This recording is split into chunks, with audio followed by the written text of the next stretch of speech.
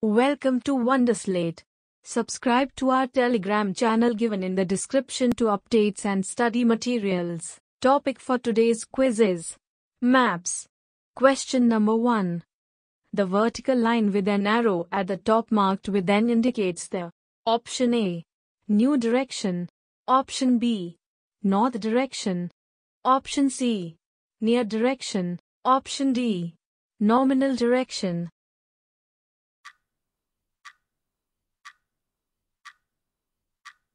The correct answer is option B. North direction. Most maps contain an arrow marked with the letter N at the upper right hand corner. This arrow shows the north direction. It is called the north line. Question number 2. A plan is a drawing of a small area on a underscore scale. Option A. Large. Option B. Small. Option C. Middle. Option D. Very small.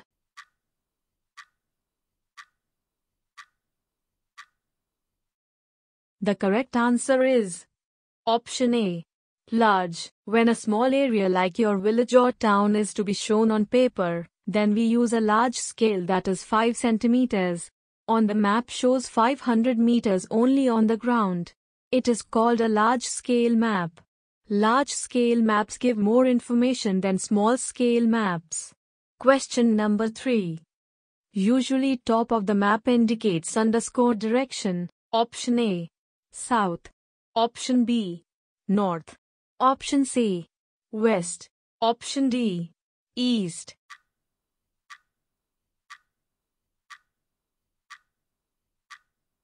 The correct answer is option B. North. Most maps contain an arrow marked with the letter N at the upper right hand corner. This arrow shows the north direction. It is called the north line. Question number 4. When a large scale area are shown on a small map it is called Option A. Short scale map. Option B. Near scale map. Option C. Little scale map. Option D. Small scale map.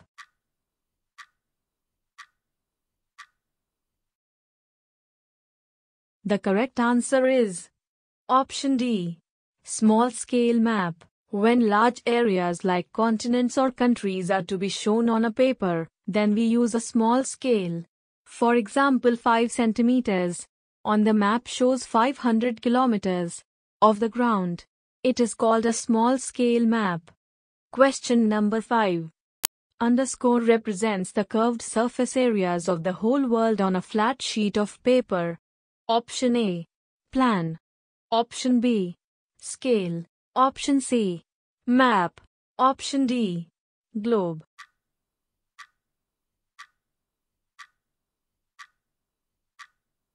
The correct answer is option C. Map. A map is a representation or a drawing of the Earth's surface or a part of it drawn on a flat surface according to a scale. Question number 6. The globe shows underscore of the Earth correctly. Option A. Shape. Option B. Height. Option C. Length. Option D. Direction.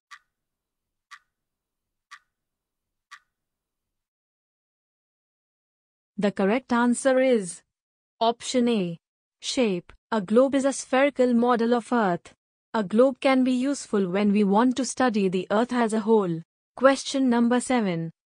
The relation between the distance and corresponding distance on the map and corresponding distance on the ground known as Option A. Sketch. Option B. Scale. Option C. Map. Option D. Globe.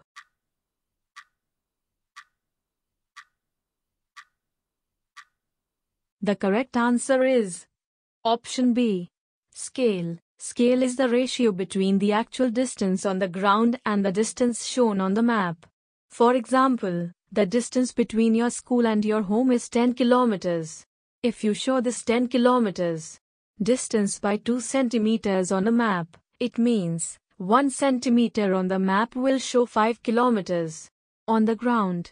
The scale of your drawing will be 1 centimeter equals 5 kilometers. Thus, scale is very important in any map. Question number 8. There are underscore components of map. Option A 3. Option B 5. Option C 4. Option D 2.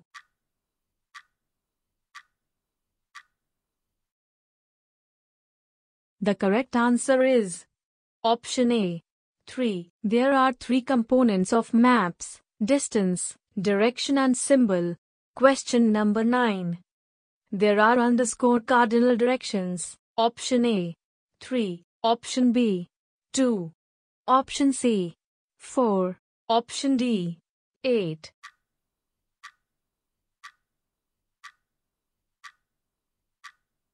The correct answer is option C 4. There are four major directions north, south, east, and west.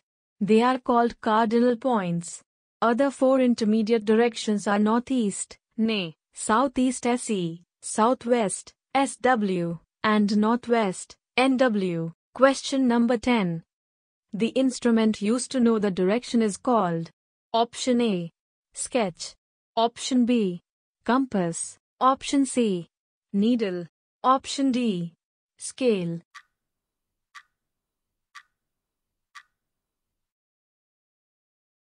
The correct answer is option B. Compass. We can find out the direction of a place with the help of a compass. It is an instrument used to find out main directions.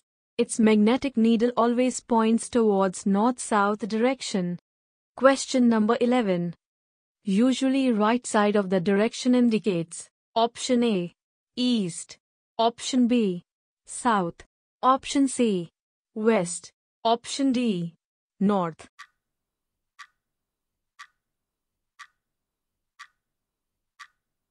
The correct answer is option A, east. Usually north lies up, south lies down to the north, east lies to the right and west lies to the left of north-south direction. Question number 12. A rough drawing showing only some features of an area drawn without using any scale is called Option A. Map. Option B. Sketch. Option C. Scale. Option D. Conventional drawing.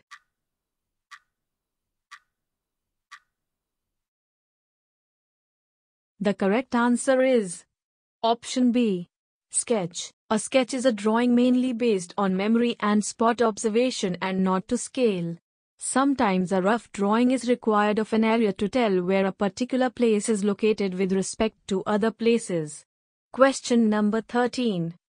The symbols used to represent various features on the map called Option A. Small symbols. Option B. Feature symbols. Option C. Conventional symbols. Option D. Physical symbols.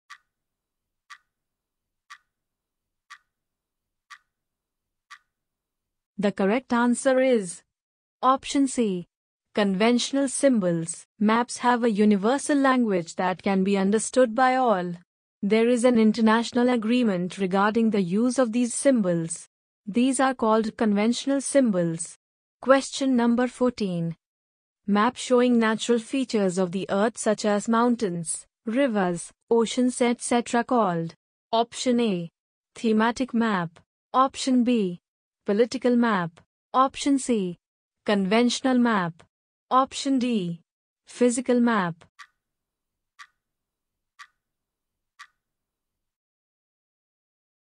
The correct answer is Option D. Physical map. Maps showing natural features of the earth such as mountains, plateaus, plains, rivers, oceans etc. are called physical or relief maps. Question number 15. What are the two ends of the Earth's axis termed as Option A. Grid. Option B. Meridians. Option C. Equator. Option D. Poles.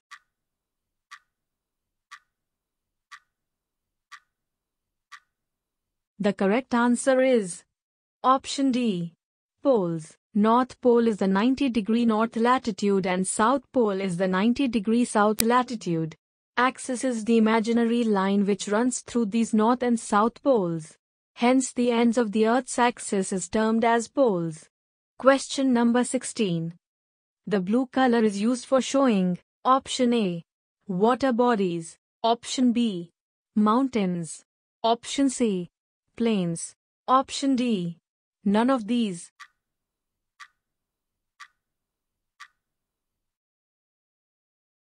The correct answer is option A.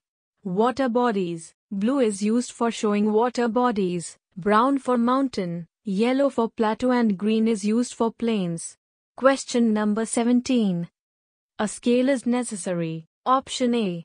For a map. Option B. For a sketch. Option C. For symbols. Option D. None of them.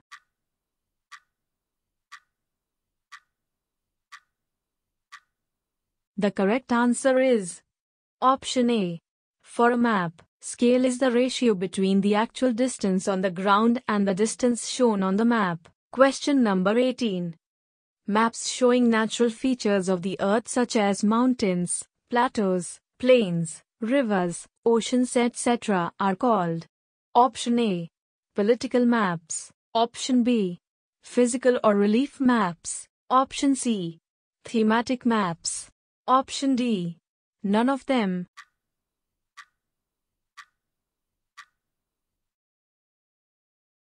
The correct answer is Option B. Physical or relief maps. Maps showing natural features of the earth such as mountains, plateaus, plains, rivers, oceans etc. are called physical or relief maps. Question number 19. Maps that shows individual countries and each country is separated by national boundary are called Option A. Airlines maps. Option B. Political maps. Option C. Thematic maps. Option D. Resource maps.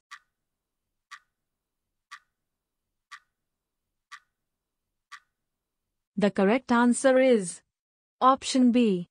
Political maps. Maps showing cities, towns and villages, and different countries and states of the world with their boundaries are called political maps. Question number 20. Compass is usually used to find the Option A. Movement of moon. Option B. Movement of earth. Option C. Direction. Option D. Distance.